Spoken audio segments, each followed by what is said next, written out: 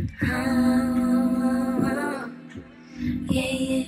y'all, welcome or welcome back to the channel. It's Jaterra Bria'Na. Y'all already know, make sure you like, comment, share, and subscribe because I got the best hair tutorials on the tube. Okay, let's get into it. Very detailed, very informative, and I get right to the point. So let's hop into today's tutorial. We are doing the Goddess knotless braids.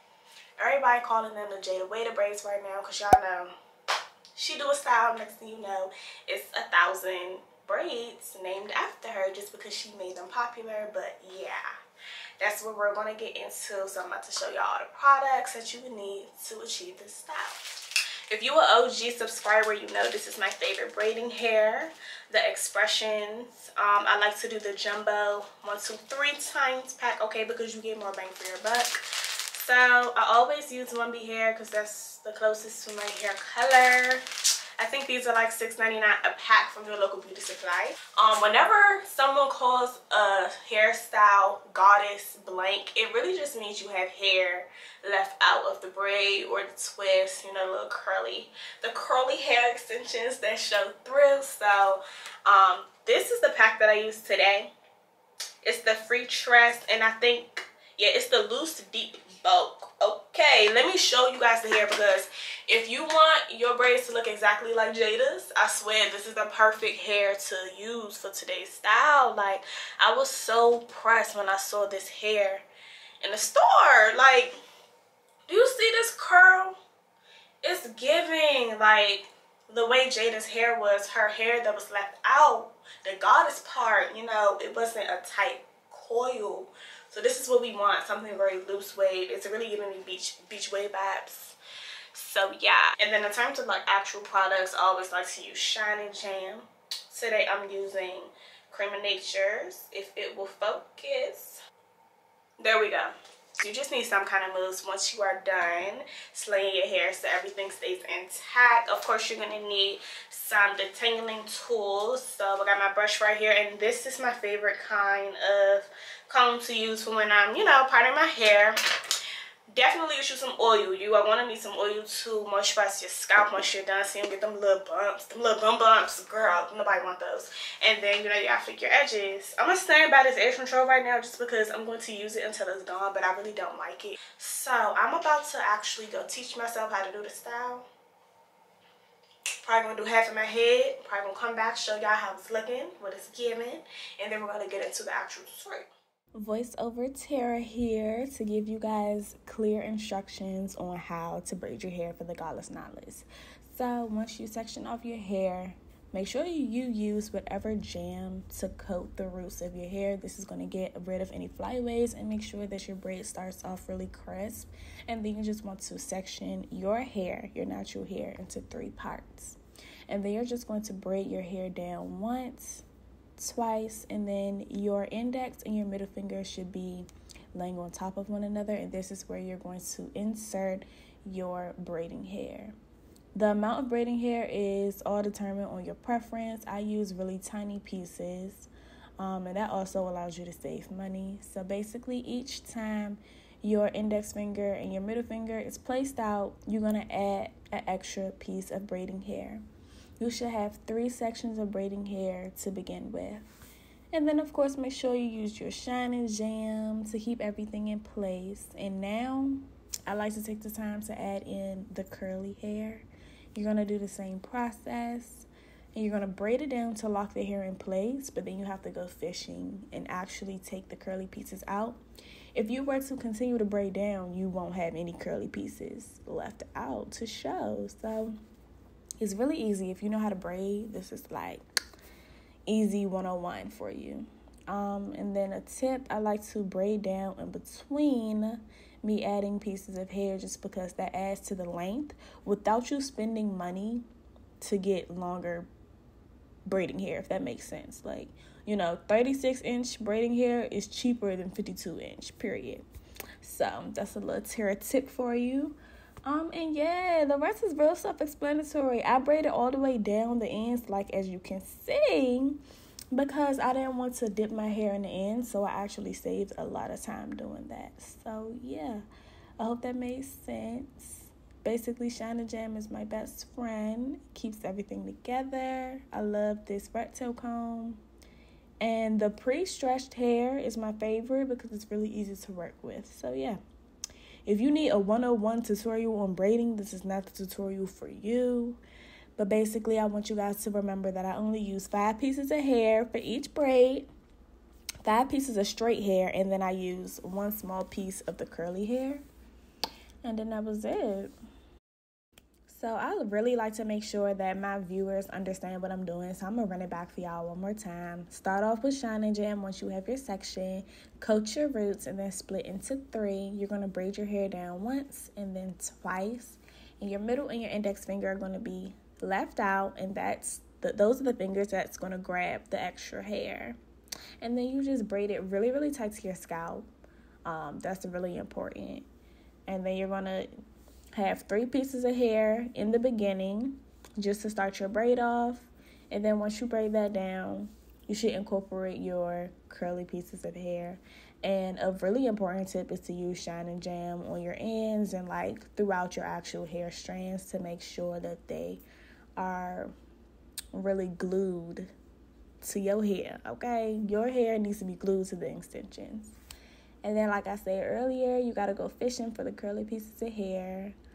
Um, I've had this style in my head for about a week now, and I will say that even though the curly hair is really, really pretty, it does get tangled like any other curly hair. So make sure that you go to sleep with your bonnet and your scarf every single night, or sleep on satin silk pillowcases. But yeah, just take your time with braiding. Make sure your sections are all the same size, and you guys should be good to go.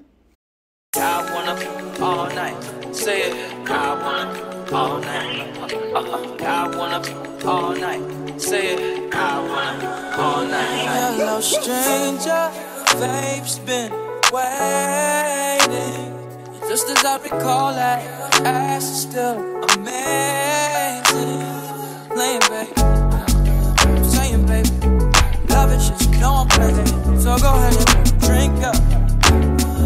glad we got to link up.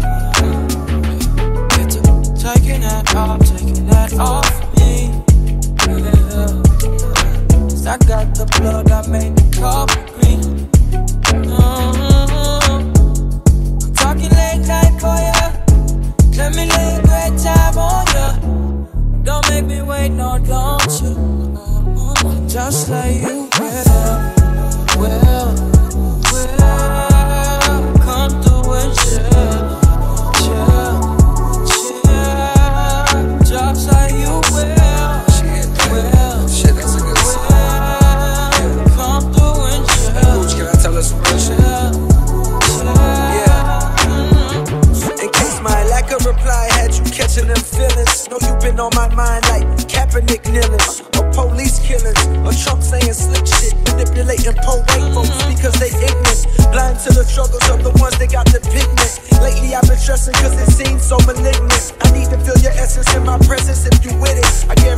won't regret you did it.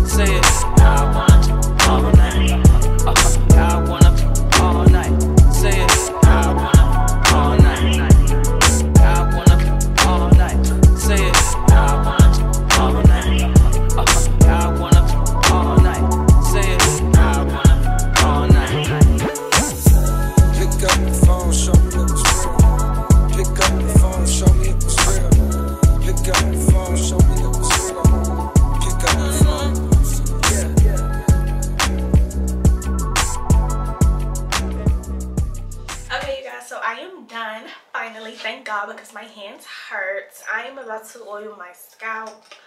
Like I said, you're to need some oil so you don't get them bum ups. You know what I'm saying?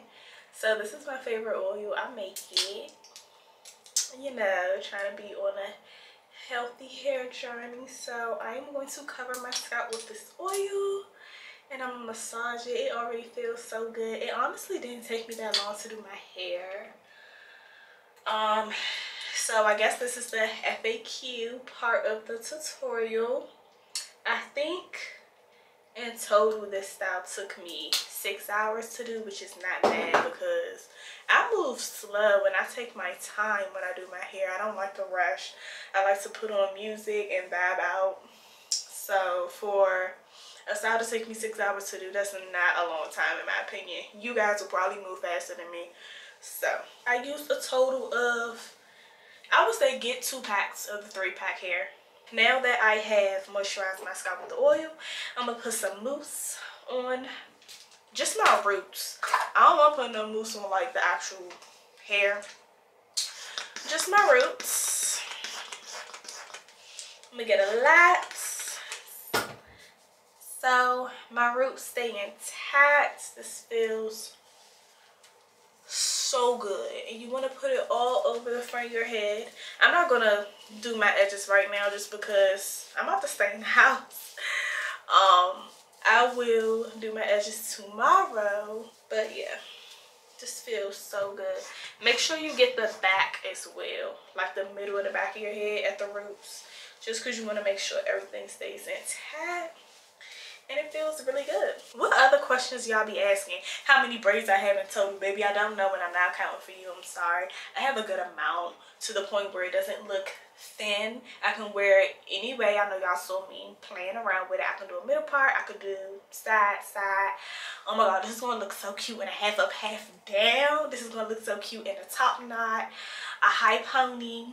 I have enough braids to the point where any little style I do would be cute but I'm not counting them for y'all, okay? I'm sorry. This is about to be my go-to summer style because it doesn't even take that long to do, period.